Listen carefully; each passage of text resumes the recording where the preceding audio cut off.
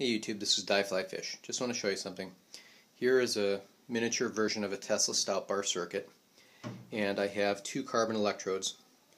This I have painted on a mixture of feldspathic porcelain powder as well as calcium carbonate uh, mixed in a slurry of acetone as a carrier and allowed it to dry out all day. As you can see there's some cracking there and this is the mortar and pestle that I did it in.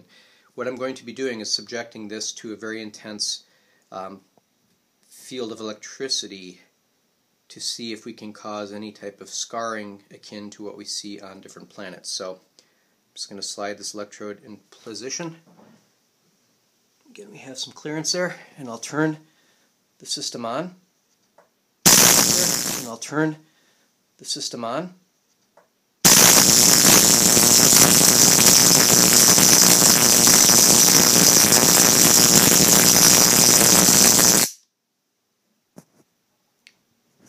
Let's see what we've created here.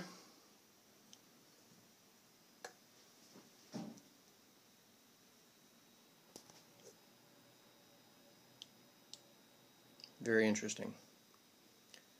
So, closer examination with some magnification will be necessary, but it does produce the scarring not unlike what you would see cratering in the moon. Fascinating. More to come.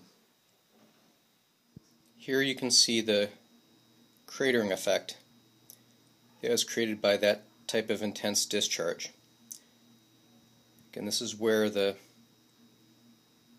electrode was closest. And very spherical, round, type of um, alteration to the strata.